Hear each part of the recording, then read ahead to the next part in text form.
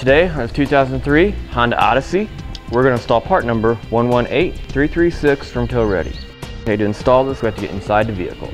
The port we need to plug into is actually located on the driver's side behind the interior panel right here. Loosen this panel up and we also remove the threshold as well so we can loosen up the panel.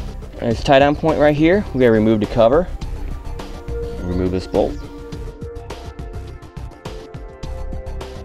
Okay, now we gotta remove these tie down points right here. Pop open the cap. And there's a little screw inside to remove.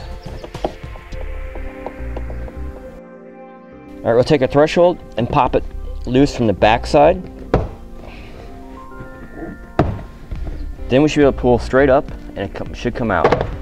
There you go. You gotta take down this tie down point.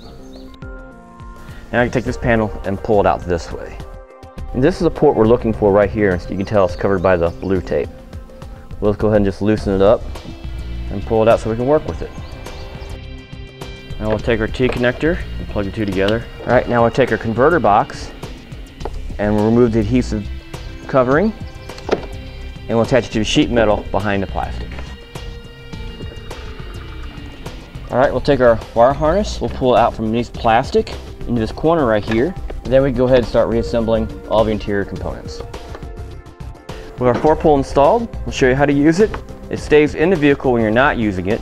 And when you want to use it, just pull out a little bit and shut the hatch on it. The weather strip is thick enough where it won't hurt anything when you shut the door on it. Basically, you just pull out what you need to go down to your trailer and you're ready to go. And with that, that'll finish it for part number 118336 from Tow Ready.